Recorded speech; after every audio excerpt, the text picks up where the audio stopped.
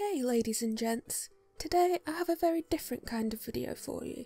There aren't many things in the world that make me angry. Mildly annoyed, yes, but pure unbridled rage, no.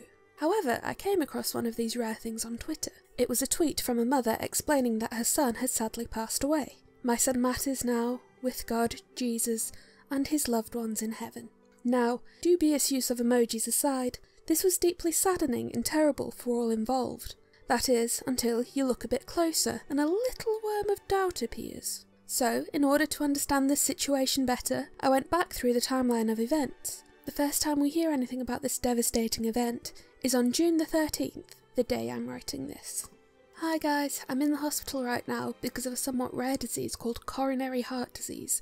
Now, I don't know if you can die from this, but I'm scared, really scared. But if you guys can share this, it would be highly appreciated. He says he's in hospital because he has coronary heart disease, and he also says that he's had it for the past five days. Apparently, I've had this disease for the past five days. Now, I'm not a doctor, nor a medical professional, but I know a little bit about heart disease, and I also did some research. For those who don't know, the British Heart Foundation says the basic definition of the disease is, is when your coronary arteries become narrowed by a gradual buildup of fatty material. They go on to say, that eventually the arteries become so narrow that they cannot deliver enough oxygen rich blood to the heart. Then, if the artery is blocked, it can cause something known as a heart attack, or pain called angina. So you get heart pains and increased risk of a heart attack or clot.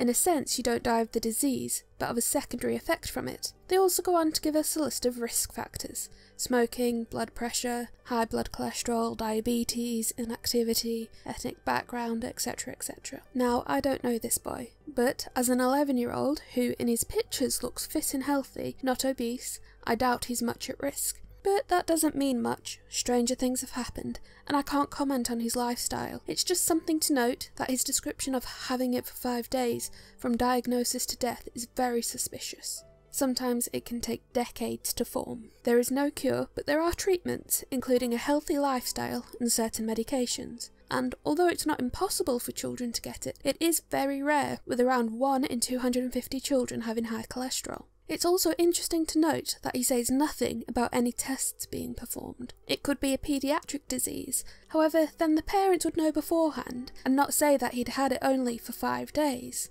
One of his friends sent me this. They didn't know five days before, they discovered yesterday that it had been happening for five days prior. After this, he posts a picture of himself before he goes into the hospital. It's him playing the guitar, and it's quite a sweet picture. Here is a photo of me before I went to the hospital. I thought I would do a face reveal since I'll be on the other side soon. However, that's not him. Further down his Twitter timeline, on April the 20th, not even two months before, we find this tweet of a somewhat face reveal. Now, I'm not wearing my glasses, but I can quite clearly see they are not the same person. The one playing the guitar has a much darker hair as well as a different skin tone. I believe the picture taken in April is actually him, as his character is often depicted with his blonde hair. Although I've tried reverse image search in the first one, I've come up empty handed. I'm not sure who it is, but I'm certain it is not him. Afterwards, he makes a few more vague tweets. Promise me you guys will remember me, as well as encouraging people to spread it. Please share for awareness. Guys, I won't make it. Now, I don't know about you, but if one thing makes a statement to your friends explaining your death more effective, it's a ton of crying emojis. He makes one last tweet. Gonna go to sleep now, I hope I can make it to tomorrow. Using the fake picture of someone else playing the guitar, a picture of him in hospital with his character drawn like an angel, and for some reason someone on a motorbike, I can't say who that is. A rather strange thing to do, create a banner saying goodbye, along with your character in the afterlife, but at least we know he has access to a computer and drawing software in his weakened, at death's door state. We then hear of his passing, and just a note, all this happened between the time of 3.57am GMT and 6.43am, 3 hours. We then move on to the supposed mother tweets. Hello Twitter, my name is Lauren. I am the mother of Bagel That Draws, also known as my son Matt. He has been in the hospital for the whole day today. I am sad to announce that he will be going up to heaven in two to three hours' time. Thank you for everyone who has supported him. Bye.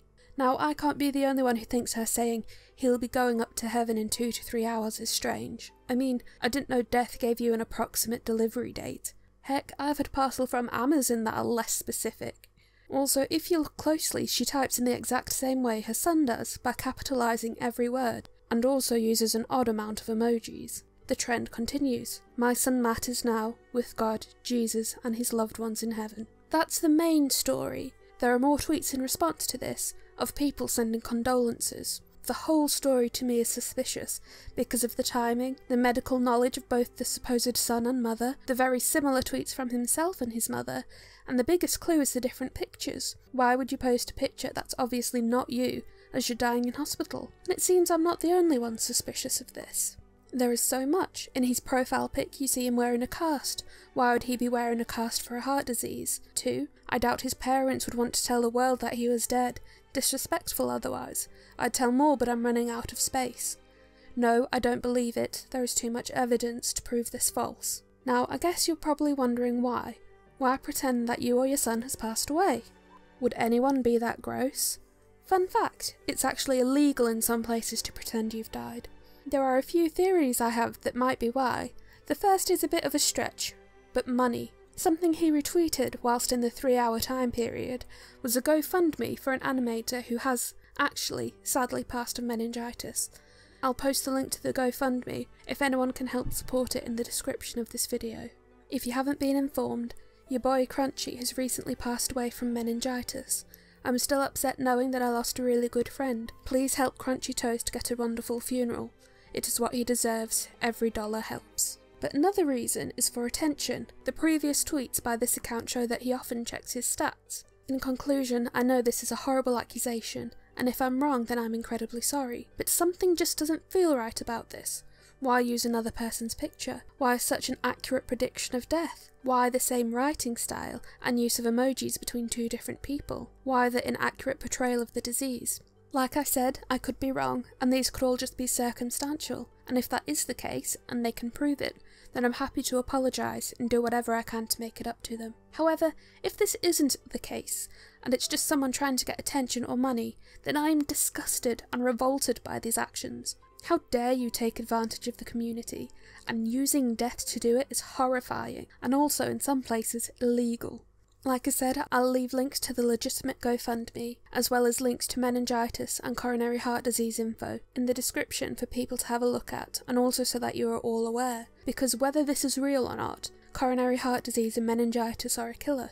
Edit 1. We spoke to whoever it was on Twitter and asked about the different photos. They stated he did not get a race change, the photos are edited into filters, which makes it look like he has a different skin tone now. Actually, we're not doing this for attention. Matt was my son and he's in heaven right now, so I don't feel comfortable of you saying this is all fake. However, you'll notice that the hospital pic didn't have a filter, but then the person running the account added one during that conversation.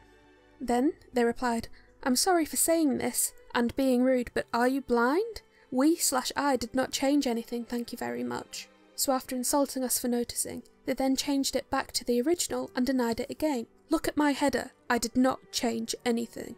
But then, after the weight of actual proof and screenshots, yes, I changed it for a second, but then you guys were thinking I changed it for the filter situation. So they admitted it to lying.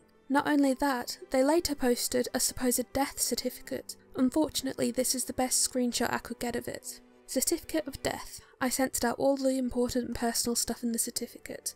However, a few people found it to be the very first one on the reverse image search. She then claimed that her husband had taken it to work like some creepy souvenir. I can't show anyone the certificate yet because my husband has it now and he is at work. So, let's recap. Fake pictures, fake death certificate, misrepresenting a medical condition, setting up a GoFundMe for money, which has since been taken down, and insulting those who dare question it. As the saying goes, coincidence? I think not. Now please don't go give the account or any of his friends hate. That's not what this video is about. If you take anything from this, please let it be the information about the diseases, and not the vile pond scum that take advantage of them. I'd like to thank so many people, but because this isn't an award ceremony, I'll keep it short. To all the Bush babes, to all the people who called them out and spread awareness, to Elijah, and to Felix, thank you for your help.